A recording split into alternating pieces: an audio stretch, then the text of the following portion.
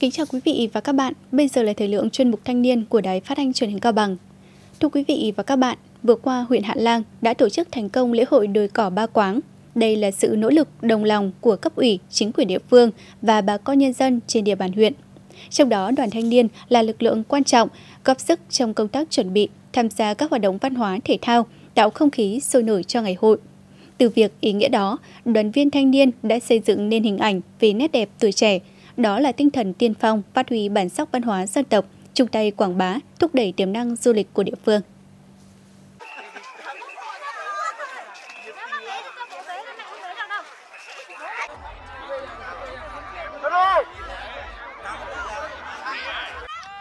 Đây là trận chung kết giải kéo co giữa đôi xã Thống Nhất và xã An Lạc trong khuôn khổ lễ hội đôi cỏ Ba Quáng. Trận tranh tài diễn ra giằng co quyết liệt, hai đội dường như ngang tài ngang sức bởi các thành viên tham gia đều được lựa chọn là những thanh niên khỏe mạnh nhất. Thế nhưng niềm vui của họ không chỉ là thành tích, mà còn là được cầu nối để trao cho dân gian của dân tộc mình còn mãi với thời gian.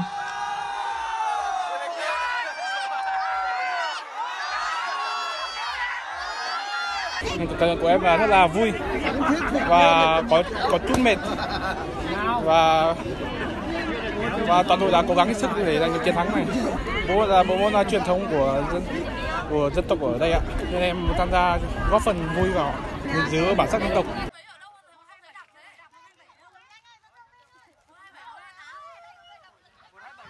Cùng với không khí sôi nổi của các trò chơi dân gian thì khu diễn ra giải chạy chinh phục đồi cỏ Ba Quáng cũng sôi động không kém. Ngay từ sáng sớm, hơn 120 vận động viên đến từ các câu lạc bộ chạy trong tỉnh đã có mặt đông đủ, nhận đai đeo và số thứ tự để sẵn sàng bước vào thi đấu. Tinh thần của các vận động viên ai nấy đều rất hứng khởi, bởi với họ, chinh phục đỉnh Ba Quáng không chỉ là đích đến mà còn là quá trình vượt lên chính mình. Đồi cỏ Ba Quáng, xã Vinh Quý nổi tiếng được nhiều người biết đến với những ngọn đồi trùng điệp, uốn lượn, trải đầy một màu cỏ cháy kỳ lạ. Chính yếu tố này đã một phần giúp cho giải chạy hấp dẫn hơn, thu hút nhiều bạn trẻ đam mê khám phá tham gia. Nhất là qua giải chạy, mỗi người sẽ tự cảm nhận được khả năng của mình và có cơ hội được cọ sát.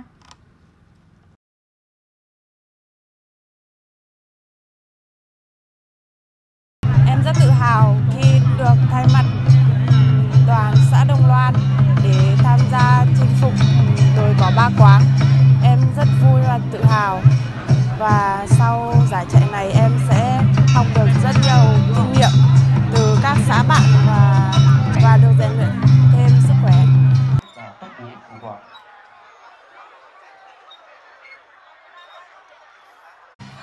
Bên cạnh việc tham gia tích cực vào các hoạt động văn hóa thể thao của ngày hội, đoàn thanh niên 13 xã thị trấn của huyện Hạ Lang còn tham gia trưng bày gian hàng nông sản, sản vật đặc hữu của địa phương. Những loại sản phẩm được trưng bày ở đây đều là thành quả lao động do chính đoàn viên thanh niên và người dân sản xuất ra.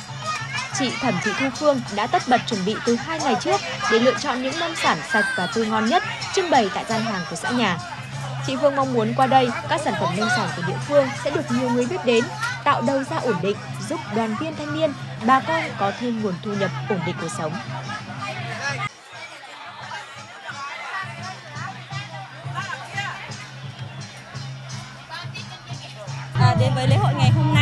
Đoàn thanh niên xã Thắng Lợi thì đã đến mang đến những sản phẩm như là đỗ đen, ờ, vừng đen, ờ, lạc ờ, lạc đỗ, đỗ xanh, đỗ đen, đỗ tương ạ. Các đấy là các sản phẩm của xã nhà nằm nhằm mang đến lễ hội để quảng bá những cái sản phẩm của quê hương xã nhà mình ạ. À, qua đây qua đây thì mình cũng mong muốn là à, à, quảng bá những cái sản phẩm của quê hương của xã nhà và thúc mà mong muốn là thúc đẩy à, à, tinh thần sản xuất của à, đoàn viên thanh niên cũng như là người dân ở địa phương mình ạ.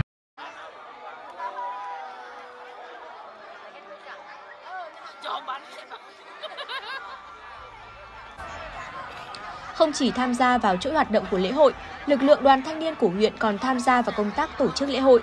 Phát huy sức trẻ tiên phong, đoàn thanh niên tại các xã đảm nhận một số nhiệm vụ như hỗ trợ xây dựng cơ sở vật chất phục vụ lễ hội, tham gia tổ trọng tài, tổ chuyên môn, tổ điều hành các hoạt động giao lưu thể thao và văn nghệ. Theo kế hoạch tổ chức lễ hội của Ủy ban nhân dân huyện, trong lễ hội đồi cỏ Ba Quáng, đoàn thanh niên huyện đã huy động trên 200 đoàn viên thanh niên phục vụ lễ hội.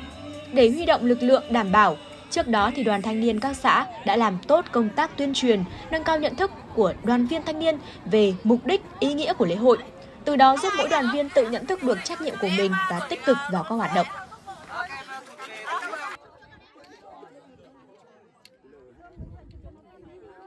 Thì uh, trong năm nay cũng là năm đầu tiên tổ chức lễ hội ở đồi Ba Quáng. Thì đoàn thanh niên xã An Lạc nói chung cũng như là đoàn thanh niên của cả huyện nói riêng thì cũng đã tham gia các hoạt động ví dụ như là dựng lán chạy ở khu uh, tổ chức lễ hội thì hỗ trợ bà con uh, xây dựng các uh, khu vui chơi giải trí cũng như là khu sân khấu để phục vụ cho lễ hội ngày hôm nay. Thì uh, trong hai ngày từ tổ chức lễ hội thì đoàn thanh niên có tham gia các trò chơi dân gian ví dụ như là đẩy gậy, kéo co, tung còn và các giải chạy thể thao chinh phục đồi Ba Quáng và thêm một một vài các trò chơi dân gian khác nữa. Qua đó thì anh mong muốn gì? Qua đó thì đoàn thanh niên cũng muốn uh, phát huy sức trẻ của mình để phục vụ cho lễ hội để góp phần gìn giữ uh, bản sắc văn hóa dân tộc cũng như là rèn luyện sức khỏe sức khỏe uh, để ngày càng mạnh khỏe để phục vụ cho công việc ngày càng tốt hơn.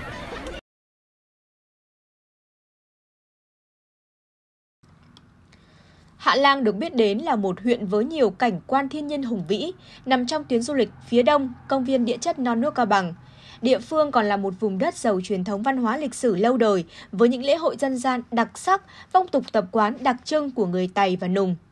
Đây là lần đầu tiên Hạ Lang tổ chức lễ hội đồi cỏ Ba Quáng với quy mô cấp huyện nhằm quảng bá giới thiệu hình ảnh vùng đất quê hương, con người, những nét văn hóa đặc trưng của nhân dân các dân tộc huyện Hạ Lang đến với bạn bè, du khách thập phương.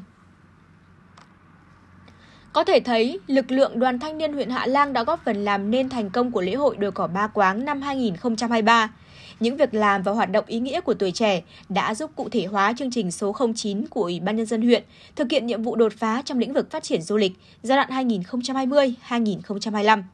Trong lễ hội, dù ở vai trò vị trí nào, tuổi trẻ vẫn luôn ý thức về trách nhiệm của mình, phát huy tinh thần tiên phong, giữ gìn bản sắc văn hóa dân tộc, góp phần quảng bá, thúc đẩy phát triển kinh tế xã hội của địa phương.